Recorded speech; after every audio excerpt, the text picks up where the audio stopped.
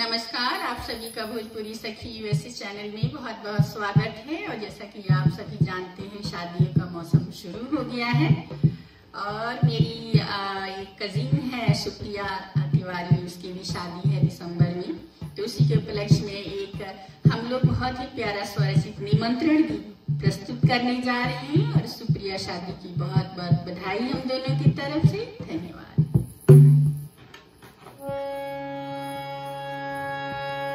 Sorry वो मेरी भतीजी है।